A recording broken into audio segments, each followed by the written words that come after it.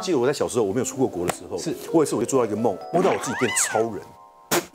真的？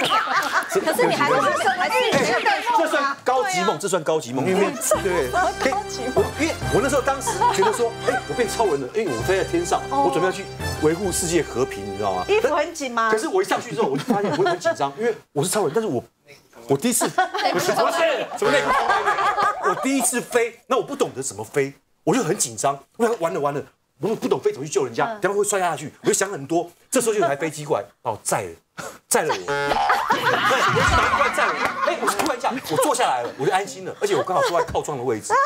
然后我就想，还不错，有飞机，超人坐飞机，我觉得很 OK 吧？对啊。然后超人坐坐飞机很不 OK 不 OK 吗梦嘛梦嘛，反正我就在那边坐着，哎，我就看外面的风景，哇，好漂亮。然后过了没没多久，我就突然看到外面有一片的灯光啊。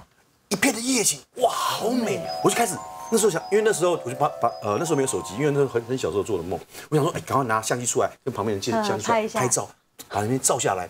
然后后来没多久就醒了。然后醒来之后，我因为我觉得那个梦太美，因为那个夜景好漂亮，所以我一直记在脑海里面。嗯然后直到第我第一次坐飞机呃出去玩，然后后来那天要准备要降落的时候，我就突然发现到，你看到超人了。